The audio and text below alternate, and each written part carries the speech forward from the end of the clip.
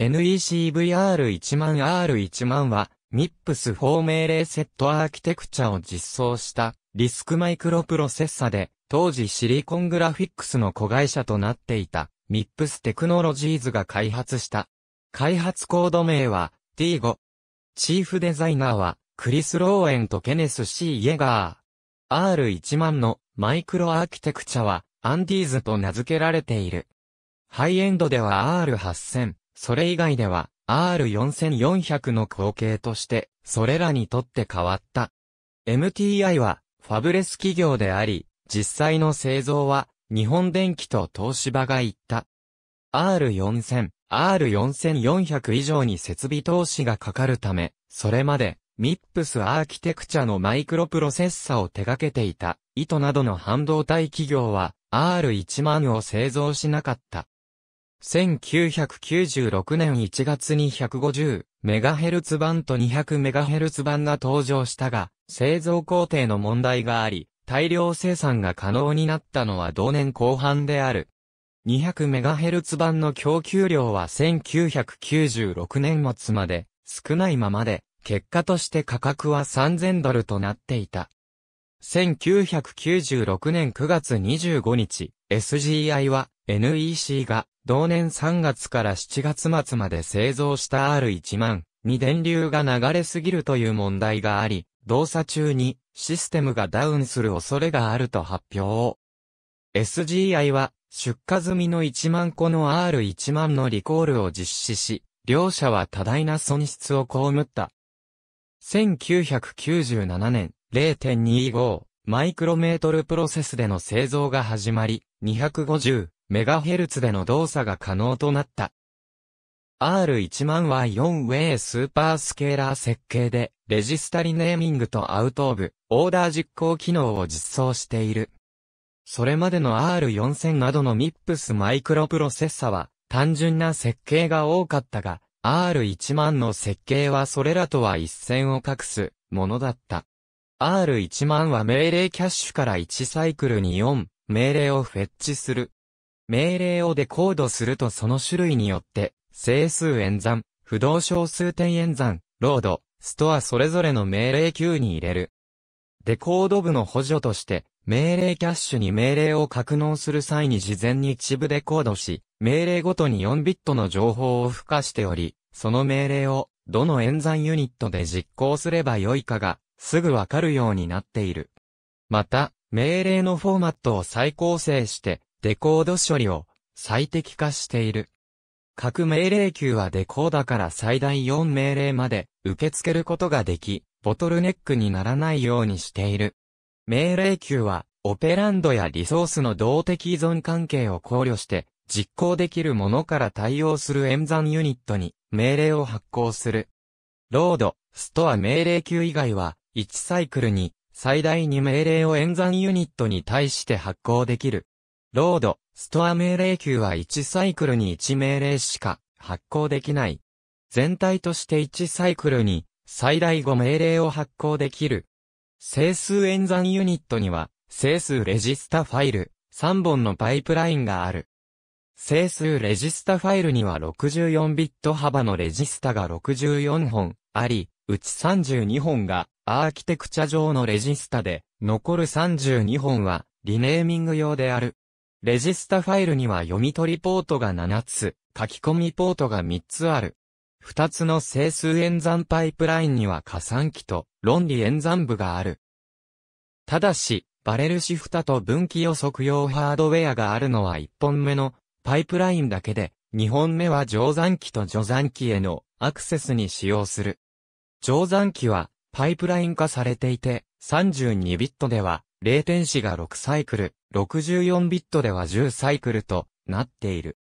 助算機はパイプライン化されておらず、1ビットあたり1サイクルかかる、引き離し助算を採用しているので、32ビットでは35サイクル、64ビットでは67サイクルの0点子となる。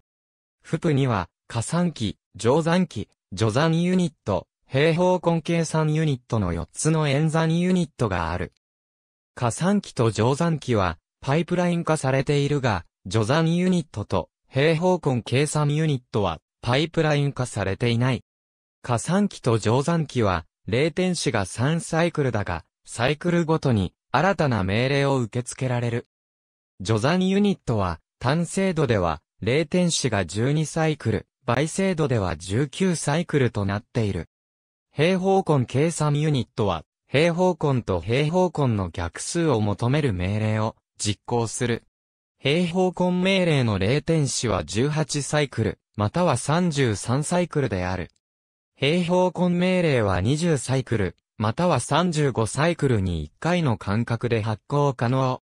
平方根の逆数はさらに0点子が長く、単精度では30サイクル、倍精度では52サイクルとなる。不動小数点レジスタファイルには64ビット幅のレジスタが64本あり、うち32本がアーキテクチャ上のレジスタ、残る32本がリネーミング用レジスタである。加算機には専用の読み取りポートと書き込みポートがあるが、乗算機と助算ユニットと平方根計算ユニットはポートを共有する。助算ユニットと平方根計算ユニットは SRT 助算アルゴリズムを採用している。MIPS4 イサには積和演算命令がある。R1 万では乗算機から加算機へのバイパスがあり、レジスタファイルを経由せずに乗算結果を加算機パイプラインに送り込める。したがって、積和演算専用ユニットは持たないが、0点子は4サイクルとなっている。R1 万は当時としては、大きなキャッシュをチップに搭載していた。命令キャッシュ 32KB とデータキャッシュ 32KB である。命令キャッシュは 2way セットアソシアティブで、ラインサイズは 128B である。命令は部分的にデコードされて、命令ごとに4ビットの情報を付与されて、キャッシュに格納される。データキャッシュは、デュアルポートの 2way インターリーブ式である。16KB のバンクが2つあり、それぞれが 2way セットアソシアティブ方式となっている。ラインサイズは 64B で、書き込みに対しては、ライトバックプロトコルを採用。仮想インデックス、物理タグ方式なので、同一サイクル中に CPU からキャッシュにアクセスしつつ、二次キャッシュとのキャッシュコヒーレンシを保つことができる。外付けの二次キャッシュは命令、データ統合型で 512KB から 16MB までの容量を接続可能。一般的な同期 SRAM を使用する。専用の128ビットバスで接続し、9ビットの ECC で誤りを訂正できる。このキャッシュとバスは R1 万と同じクロックで駆動され、最大周波数は 200MHz である。200MHz では、バスのピーク帯域幅は 3.2GB S となる。2way セットアソシアティブ方式だが、ピン数を減らすために、R1 万側がアクセスする way を予測している。MIPS4 は64ビットアーキテクチャだが、コスト削減のため、R1 万の仮想アドレス空間も、物理アドレス空間も64ビット全部を実装していない。それでも、物理アドレスは40ビット、仮想アドレスは44ビットで、1TB までの記憶装置をアドレッシング可能で、仮想記憶は 16TB にもなる。R1 万のシステムバスは、アバランチバスと呼ばれる64ビットバスで、最高 100MHz で駆動可能である。アドレスバスとデータバスを多重化していて、アドレスの転送にサイクルを使用するため、理論上の最大帯域幅は 800MB S だが、実際のピーク帯域幅は 640MB S となる。システムインターフェースコントローラは、最大4プロセッサまでの密結合、対称型マルチプロセッシングをサポートしている。外部にバス制御ロジックを追加すれば、理論上は数百のプロセッサでも結合可能である。例えば、SGI の Origin 2000は最大128プロセッサを搭載可能である。R1 万は約680万個のトランジスタを集積しており、そのうち約440万個が一時キャッシュの実装に使われている。チップ寸法は 16.640mm×17.934mm で、面積は298.422平方ミリメートル。0.35マイクロメートルプロセスで製造され、599ピンのセラミックパッケージのものが1994マイクロプロセッサフォーラムで公開され、527ピンセピガで製品化されると発表された。また、1MB の二次キャッシュを含む339ピンのマルチチップモジュールも検討中だとされていた。R1000 をベースとして、それを拡張した派生品が次々と登場した。SGI が高性能計算システムに多数実装することを考慮し、R12000 以降のマイクロプロセッサは消費電力が 15W から 20W 以下になるよう動作周波数が低めに抑えられている。R12000 は MIPS が設計を開始し、SGI が完成させた。NEC と東芝が製造。NEC では VR12000 の名で販売した。1998年11月に登場し、270MHz 版、300MHz 版、360MHz 版がある。R1 とは全く異なる、設計のビーストプロジェクトが中止されたため、急遽、R1 0を改良した R12000 が開発されることになった。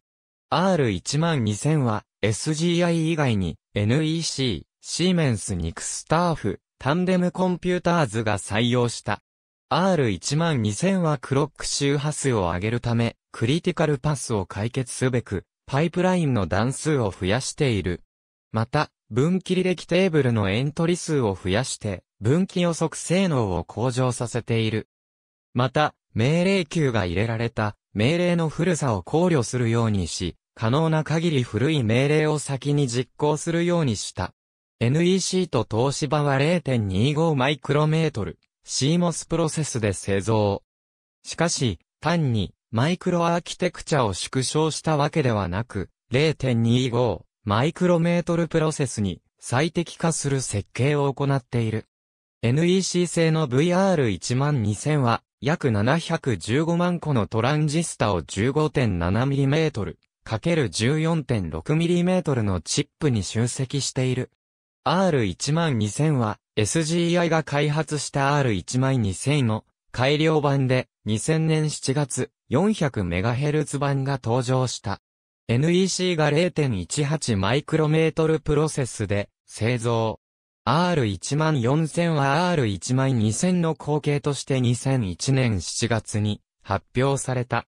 500MHz で動作し、0.13マイクロメートル、CMOS プロセスで製造されている。マイクロアーキテクチャを改良し、二次キャッシュに DDR、ストラムを使えるようにし、システムバスを 200MHz まで高速化できるようにした。R14000A は R14000 の改良版として2002年2月に発表された。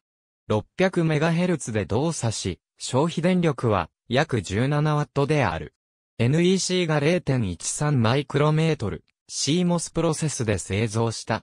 R16000 は R10000 の最後の派生品で、開発コード名は N0 である。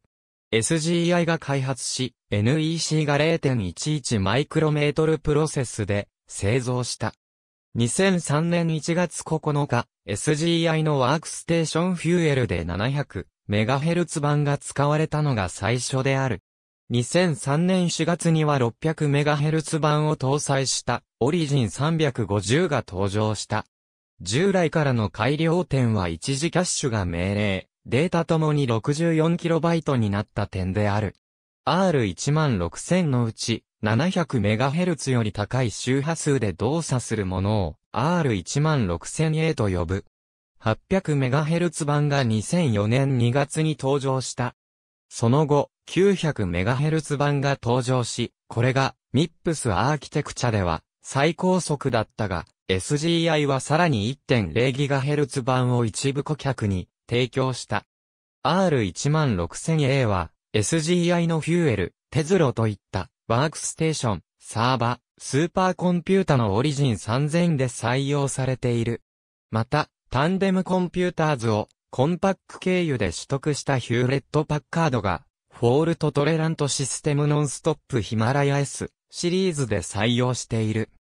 R18000 は R1 0マイクロアーキテクチャのさらなる改良として SGI が2001年の Hot Chips シンポジウムで発表したが、開発は中止された。SGI の ccNUMA サーバやスーパーコンピュータ向けに設計されていた。それらのシステムは1ノードに2個の R18000 を密結合型で搭載し、ノード間をハイパーキューブ型ネットワークで相互接続する構成である。R18000 では、浮動小数点命令キューを改善し、2つの積和演算ユニットを追加して、 FLOPS 値を4倍にすることを想定していた。システムインターフェースとメモリ階層も大幅に見直される予定だった。仮想アドレスは52ビット、物理アドレスは48ビットとされている。システムバスを2つの一方向 DDR リンクに置き換え、アドレスと書き込みには64ビットのリンク、読み取りには128ビットのリンクを使用する。一方向ではあるが、それぞれもう一つの R18000 と共有、可能である。また、従来との互換性のためにシシッドバスやアバランチバスも利用できる。1MB の 4way セットアソシアティブの二次キャッシュをチップ上に搭載し、2MB から 64MB の3次キャッシュを外付け可能。また、3次キャッシュのタグはそれだけで 400KB になるが、これをチップ上に搭載して、0点子を小さくすることになっていた。3次キャッシュを接続するバスは144ビットで、128ビットはデータ用、8ビットは ECC 用である。3次キャッシュのクロックレートは変更可能。NEC が0.13マイクロメートル CMOS プロセスで製造予定だった。電源電圧は 1.2V とし、消費電力と発熱を抑える予定だった。ありがとうございます。